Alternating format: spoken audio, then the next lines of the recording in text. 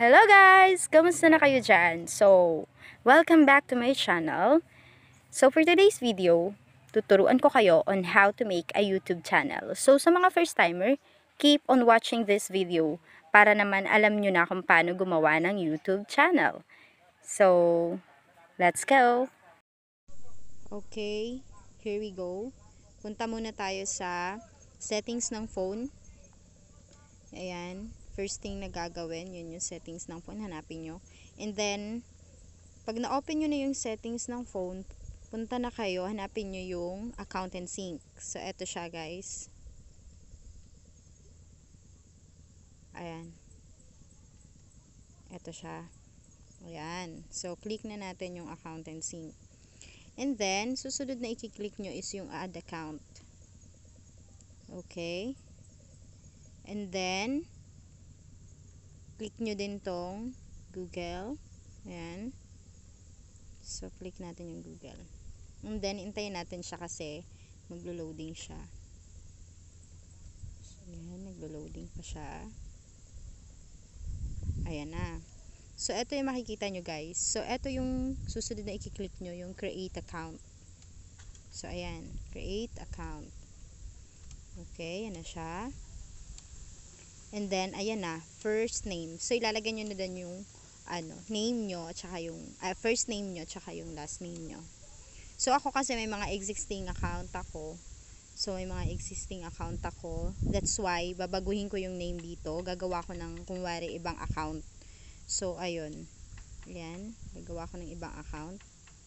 And then, last name ko. So, ayun. So, next lang. So, ayan. So, eto na. Nilalagay ko yung phone number. Kasi magsisend sila dyan ng verification code. And then, click next. So, ayan. Yan. So, eto na. Susud mo na fill up is yung birth date and the gender. So, dito muna tayo sa birth date. So, July. Ay, wait. June na lang kuwari. June 8. 1993. Okay, gender nyo, of course, female pag babae. Male naman pag lalaki.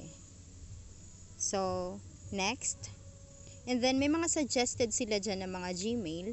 You can pick dyan kung gusto nyo yung, uh, eto, eto. Eto, may dalawa silang binigay na Gmail. Nirecommend nila. So, ang ginagawa ko guys, nagkikreate ako ng bago. So, dito tayo. Create tayo ng bago. So, ayan. So, gawa lang tayo ng Gmail. Ayan. Ayan. So, next. So, lagay na natin ang password. Ito na siya.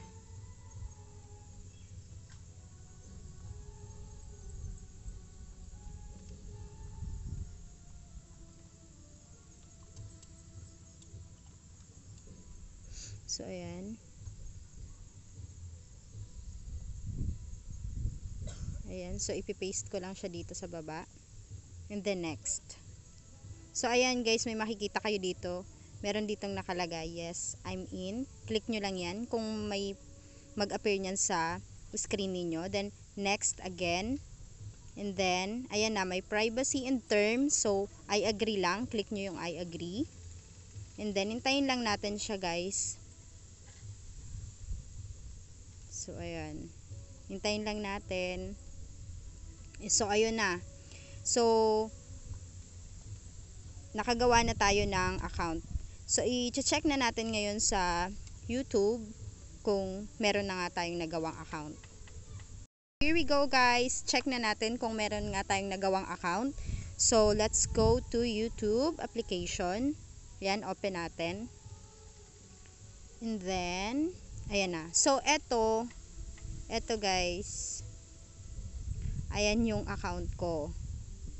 Yan siya. So ang gagawin natin para malaman natin kung meron tayong nagawa switch account natin. So click natin to. Ayan. So ito switch account tayo.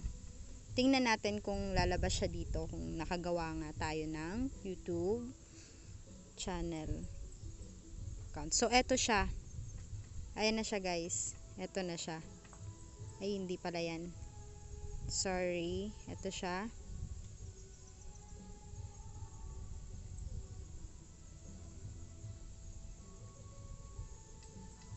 So, ito siya. Ayan. Ito na siya. Ayan. So, okay na. Nakagawa na tayo ng account.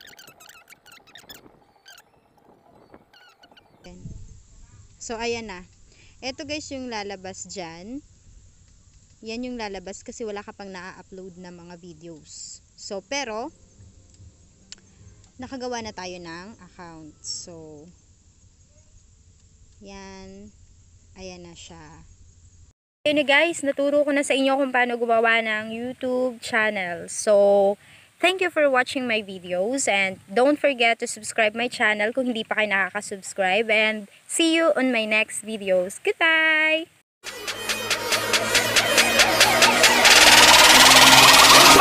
I'll do it.